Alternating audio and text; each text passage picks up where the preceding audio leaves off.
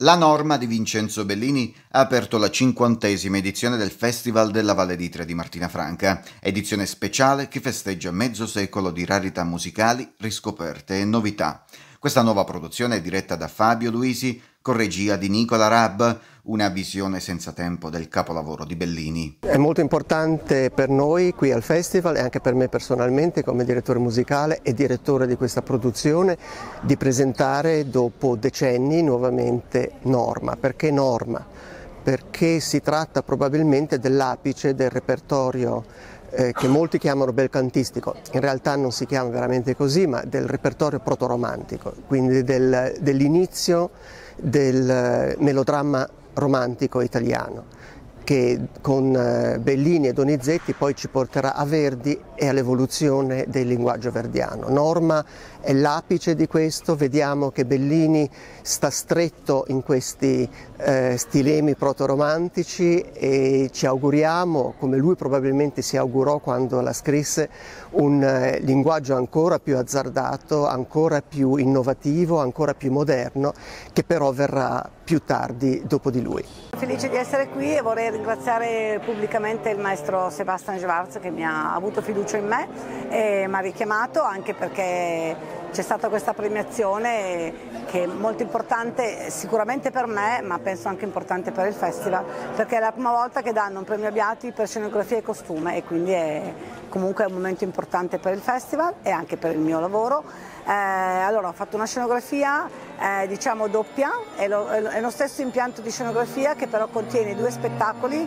che sono La Norma e Aladino ed è un, grandi, un, grandissimo girevole con un muro che è una specie di onda dove da una parte c'è Norma che è un grande muro rosso con delle grandi spaccature che sono le spaccature dell'anima di Norma e poi la, dall'altra parte c'è Aladino che è una grandissima biblioteca tutta bianca, tutta di scultura e che all'interno svela i mondi che sono una parte diciamo, del viaggio che fa Aladino e quindi è una scenografia eh, che può cambiare da uno spettacolo all'altro veramente in un'ora, molto velocemente, con un grande risparmio anche di tempo e di personale, che è quello che mi ha chiesto il festival. Allora, come per il giocatore, firmo eh, le scenografie e i costumi. Eh, allora, per norma, eh, diciamo che l'idea che lega tutti i personaggi è l'uso di un tessuto eh, che, ha, che, ha, una luminosità sua ed è tutto plissettato perché mi sono ispirata a uno dei miei diciamo, artisti preferiti che è Fortuny,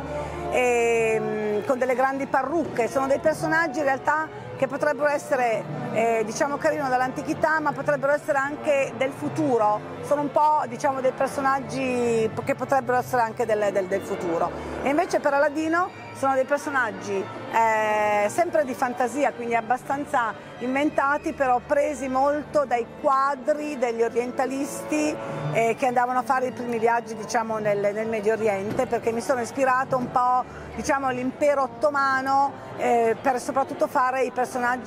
che sono proprio quelli della lampada dell'Aladino della storia. Ecco. E, e, quindi insomma sono dei, anche questi dei costumi molto importanti direi. Il tappeto rosso all'ingresso, una foto sotto il porticato, la seduta sotto il caldo cielo stellato di Martina Franca, si è aperto così il sipario sulla cinquantesima edizione del festival, quest'anno inaugurato già nelle scorse settimane con una serie di iniziative che hanno accompagnato il pubblico in avvicinamento alla data della prima. Per la cinquantesima volta si ripete a Martina e, e si ricrea quello che è un'atmosfera unica garantita dal nostro Festival della Valle d'Itria. Tre settimane dove Martina Franca, tutto il territorio diventano epicentro di un'attenzione del mondo culturale non solo italiano ma europeo per quello che è ormai una delle manifestazioni di musica lirica estive più note e apprezzate in tutta Europa. Siamo pronti ad accogliere un pubblico internazionale, eterogeneo, di melomani che troveranno